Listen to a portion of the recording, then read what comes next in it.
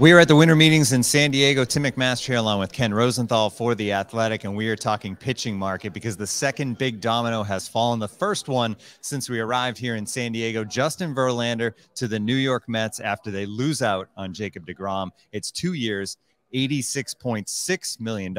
And Ken, you don't get five years of Jacob DeGrom, but you get two years of the reigning Cy Young Award winner in the American League. Right. And couple of weeks, actually, like last week, Will Sammon had an interesting article asking different executives which would they prefer, DeGrom or Verlander. Now, we didn't know the terms of either deal at the time. The consensus was DeGrom, but I don't know if you compared the two deals now and you interviewed all those executives again, if they would have the same opinion. Right.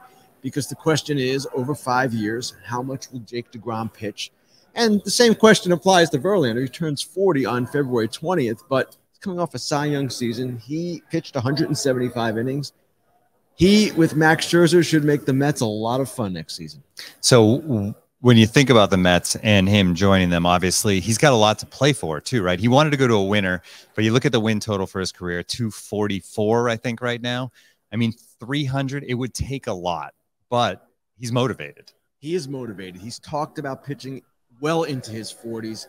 He wants to establish a benchmark. He wants to get to 300. Now, whether he can do it or not, that remains to be seen. But he's Justin Verlander. He came off Tommy John surgery to win a Cy Young Award at 39 years old. He has done things in his career, throughout his career, that other pitchers have not. So I don't bet against him. And that is part of the fun of watching a guy like this or watching a Scherzer, an accomplished player, any veteran like this.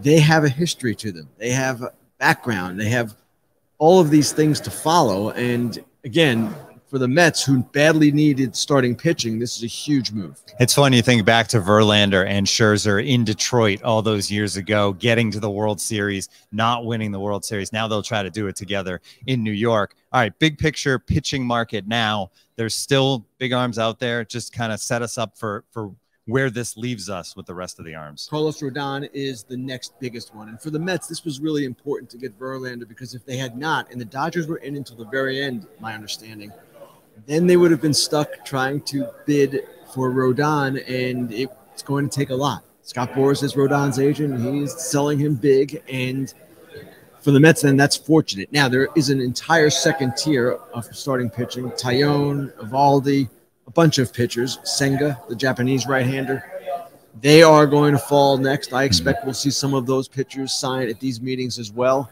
And the Mets need more. So I would not be surprised to see them on Taillon, on Andrew Heaney, any of these names that we're talking about. But this is a big first step for them. And eventually, the position players are going to start to go as well here at the winter meetings. We're expecting a lot of money to be spent. Ken's going to be joining us throughout the week. So keep checking back here on the YouTube page. Certainly hit that subscribe button as well. For Ken Rosenthal, I'm Tim McMaster. Thanks for joining us.